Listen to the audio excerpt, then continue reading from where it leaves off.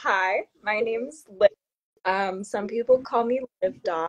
I'm a musician based out of New York, and I got into music, and I've been having a really good time since 2020.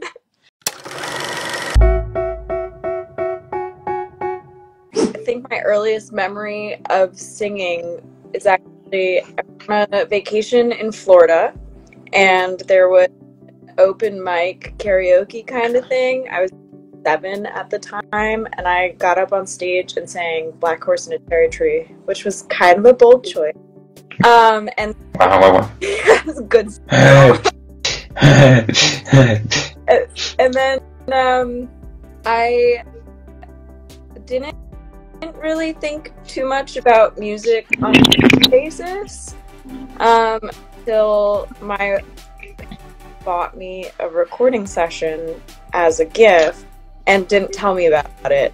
So it was a surprise. Um, but Uh-huh. I had really considered considered um, I had never really considered pursuing music, honestly.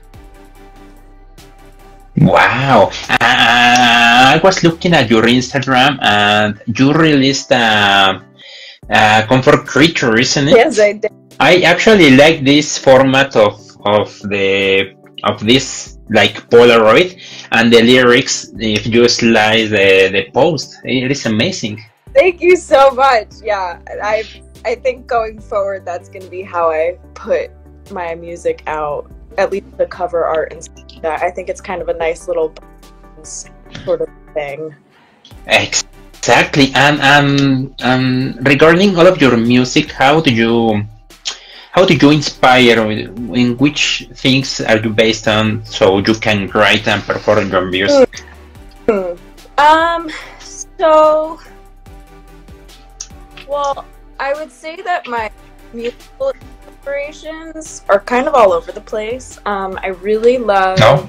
Amos Lee, Tracy Chapman, Chris Stapleton, Amy Winehouse, um, definitely Alanis Morissette, and that kind of Wow.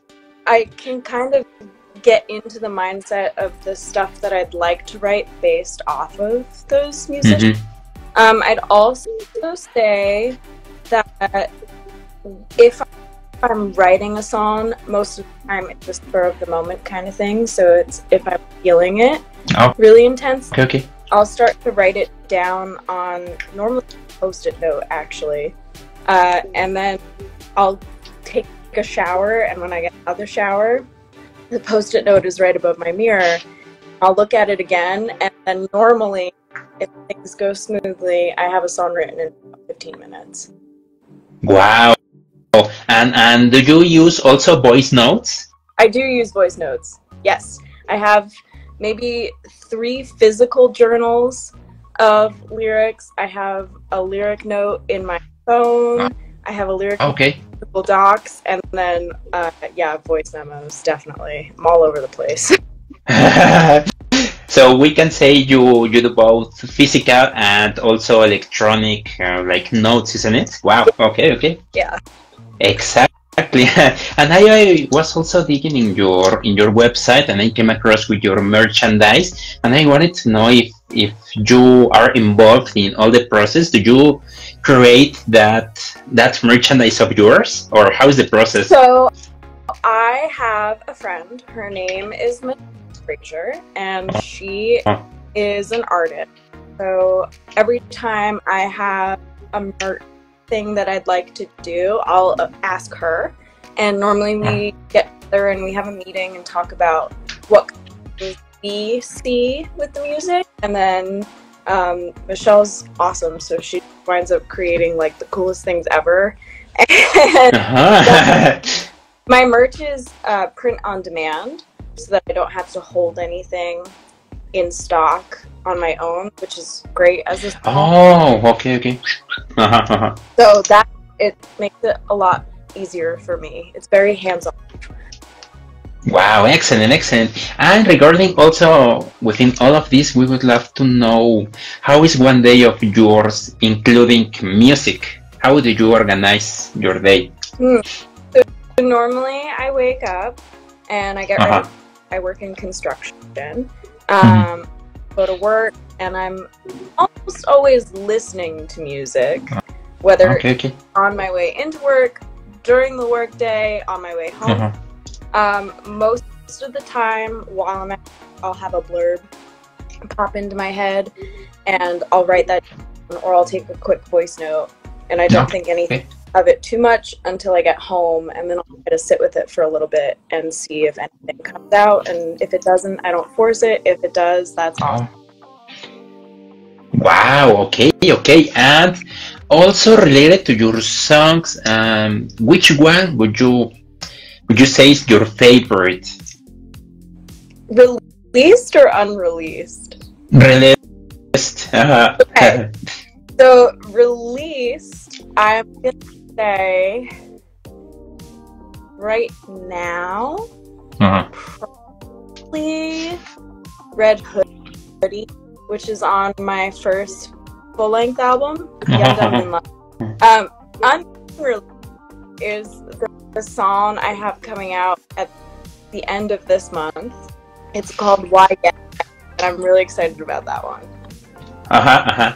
And I wanted to ask you also for for that how how long did you how long did you take to to get a, a song done since you are writing and producing how how long So, so it kind of depends on who I'm working with.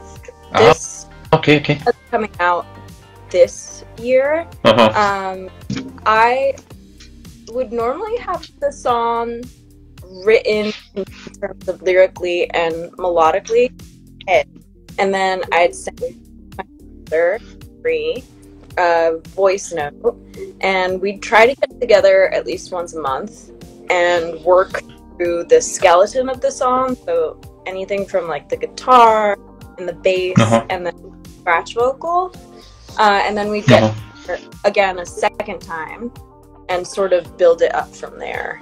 So normally two recording sessions.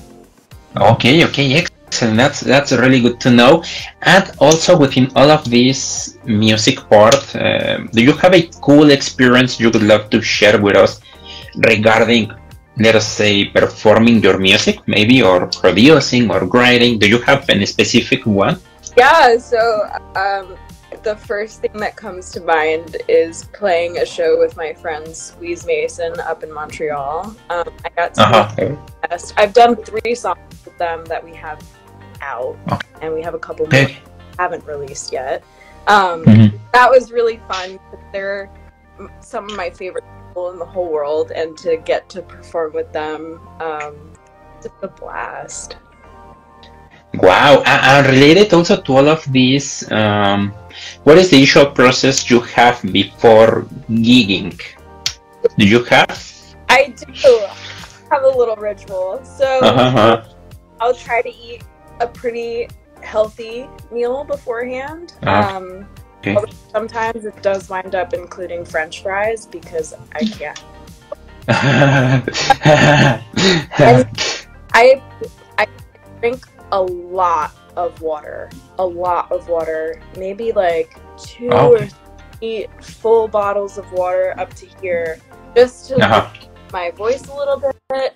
Um, try to avoid dairy the day before a gig and the day of a gig, just kind of make sure that everything is feeling really smooth. Mhm. And then Uh-huh. I'll do a little warm up session, maybe like 15 minutes, about an hour or two hours before, just to kind of um, feeling.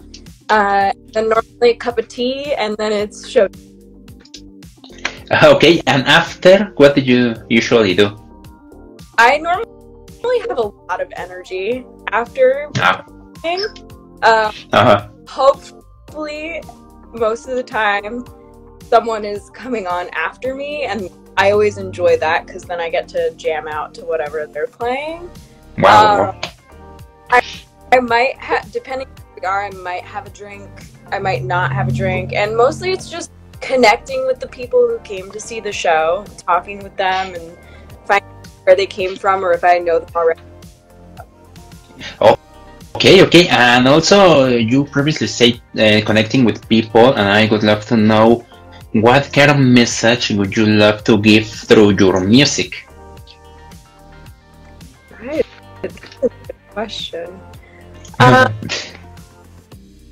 I don't. I guess it's just being honest, and sometimes being honest is kind of scary. But I think the most beautiful music is music that's vulnerable.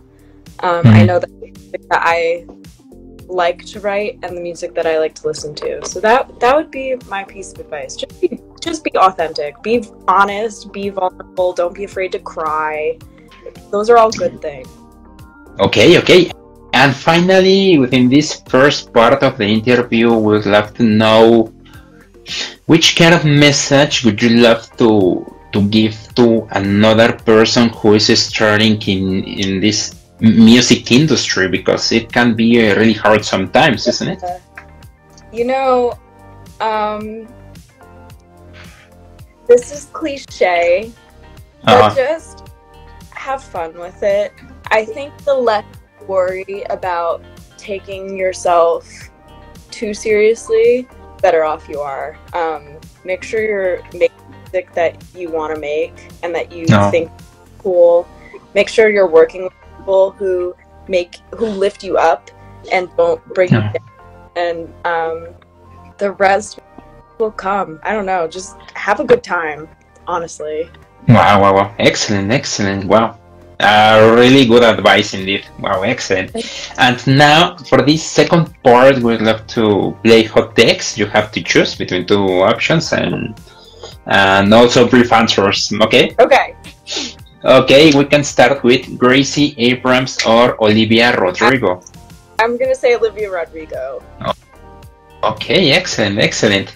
Another one, Olivia Rodrigo or Dua Lipa. Oh God. Uh, Rodrigo. Yeah. Okay, okay, again. Okay, okay, okay. Another one, Dua Lipa versus Taylor Swift. Oh, Dua Lipa. I feel like I'm gonna get Okay. that, but oh well. by by the Swifties. okay, okay. Another one, mm, acoustic guitar or electric guitar. I think I prefer acoustic. Okay. Okay, okay. Uh, which one is is hard to to play to learn? I okay, so honestly, I think both of them are pretty complicated to learn, but that's just my um in terms of sound, I like the sound of the acoustic better Uh-huh. and I am a little more comfortable on an acoustic guitar. However, the electric guitar can do quite a lot. Um, so I you can't really go wrong, honestly. oh, wow, okay, okay.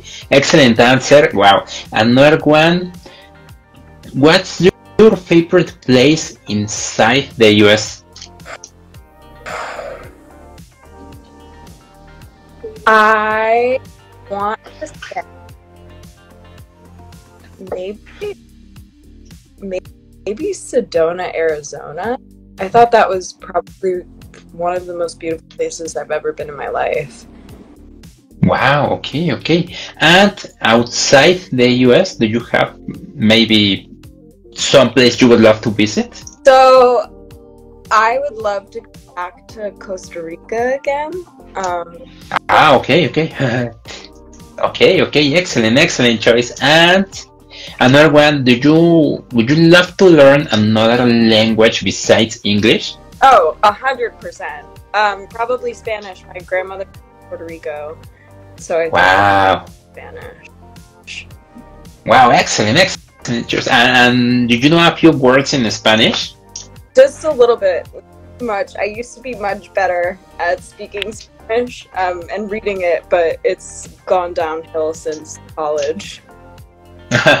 okay, okay. And another one, mm, who do you have a, a role model like right now? You look up to? Yeah, I want to say um, my first, pro- well, my, my second producer, Van Plating. Um, she's, Okay. she's my role model. I want to be her. Okay. But and and speaking within all of this, do you have a a artist uh, you would love to work with if you have the opportunity? It can be from the past Oh. also. gosh, um, I have a huge list of people I'd like to work with. I don't even know start on that. If we're talking like something that will most likely never happen, I'd say Miley because I Oh. think that would be so sick. um, people that oh also lukas nelson i feel like lukas nelson would be a really fun person to make music with Uh-huh. people who i have worked with before definitely uh, again my friend dan um okay, okay. probably I, I don't even have to say probably definitely anna marie and um, my friends from squeeze mason my friend will my friend matt make a song with Uh-huh. my friend those I, I think that's where i'd start Wow, excellent choices. Okay, okay. And uh, do you have a place you would love to perform your music? hmm maybe ooh that's a great question maybe bethel woods i'm not sure that's the original site of woodstock i think that would be a really cool place to play Wow, excellent, excellent, excellent choice. Okay, okay, okay.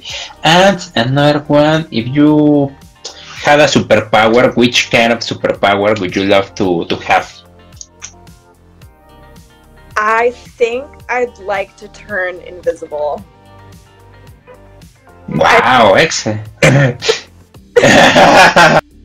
and, and what is the what is the first thing you would do with this superpower? Honestly, I don't know. I just it would be a really good time to be able to disappear and then reappear at my will. yeah, Uh, also, and what do you think about flying or or healing? oh, well, healing would be amazing. Um, yes, isn't it? So would flying. I feel like both of those things are cool. If you're Uh-huh. asking what I'd prefer out Uh-huh. of the two of them, most likely healing. I think Yes. a Yes. very special power. Uh-huh. Just because I I I I found this within one of the episodes.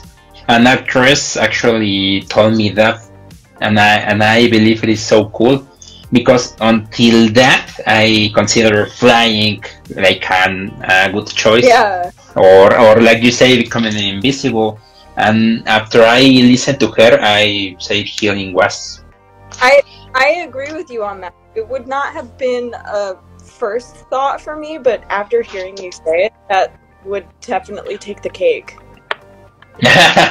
exactly yes yes yes okay okay and another one uh, you have the opportunity to give a message to your younger self which kind of message would you love to give Stop caring about what other people think. It does not matter at the end of the day. Wow, excellent.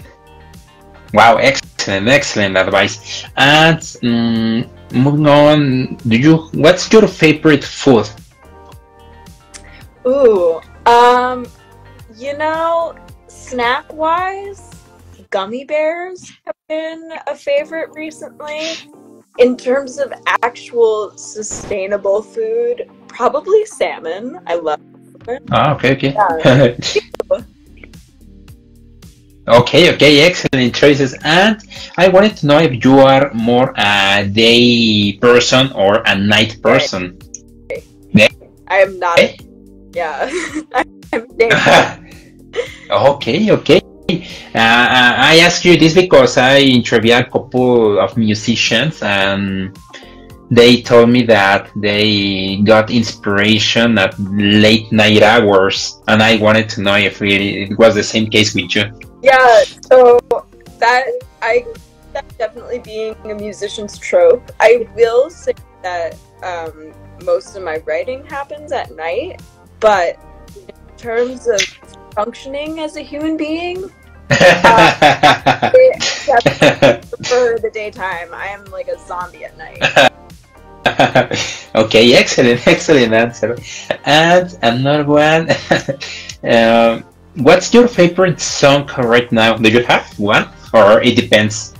Oh gosh, uh, Wild Turkey by Amethyst. I cannot remember her last name, but I think is so beautiful. She sounds very much like Chapman on it, and got some pop tone to it. it. I think it's such a cool song. Wow, excellent. And um, okay, okay, excellent answer. And regarding within all of this, also, do you have a favorite movie right now? Yes. Um, a favorite serious movie would be Into the Wild, and Uh-huh. a favorite funny movie would be Ferris Bueller's Day Off. Okay, okay, okay. Let's, okay, okay. And um, do you have a favorite actor or actress? I feel like there's never a bad Denzel movie. Um, Wow. yeah, I Denzel Washington. Uh-huh. Yeah, Denzel Washington. That's probably my favorite actor. Okay, okay. And did you have a favorite movie of him? Uh, I love The Equalizer 2. Oh. I think Okay, okay. it's so intense. I stopped breathing for a little while, um, which I like because I can never figure out what's happening next in those movies. So that I would say that Okay, okay. And I have uh, another one that it's really good. Uh, what would you consider it has been your biggest accomplishment so far? I love that question. Um, I don't know. I I'm pretty happy with everything that's led me to the point that I am at today. Um, Uh-huh. especially because I never, like I was saying to you before, I never intended on pursuing music. It was kind of an accident. Um, Okay, okay. it's been a happy little accidental journey. I I guess I would say maybe creating the record that's coming out this year, Not Your Friend, would be an accomplishment I'm proud of because it's the first record that I professionally, which means that um, I knew about the recording sessions before they were happening, and I was like, Oh, this record in mind, which means that wow, wow, wow. record after this one Uh-huh. is gonna be very thought out and very cultivated around those thoughts, and I'm looking forward to that. Wow, excellent, excellent answer. Wow, wow, wow. And uh, biggest fear. My big, biggest fear spiders. I had a spider infestation at my apartment last summer. Ah. Yeah, that's how I feel. I'm really worried about this summer. I haven't seen any yet, so I'm hoping that Okay. it's the same. okay, okay, yes, spiders can be. Okay, okay. and another one. If you have the opportunity to travel to the past or to the future, which one would you choose? Ooh. Maybe the. Okay, can I, can I ask a clarification? Uh-huh. Is it specifically my past and my future, or is it any time in the past or future? Oh, uh, anytime. Okay, then I would say the past. Ah, okay, okay. yes, and and uh, like like an interesting fact, more than ninety percent of the interviewers says the past Yeah, because they don't like uh, future. Like you don't know what's gonna happen, and past is is the choice they all. it's comfortable. Uh-huh. uh-huh. Wow, excellent answer once more. And to also we would love to know if you have any other upcoming projects besides you previously mentioned so you can share with us um, i do have a couple shows in the works i can't formally announce them just yet but they're ah. so that's exciting um, i do have a couple of projects with some friends coming out point this year. So I'm excited about that too. One of them might be in May. Um, that's I'm looking forward. Oh, okay, exactly, exactly. And do you have a favorite social platform? Oh, I love Twitter. I guess it's not called Twitter.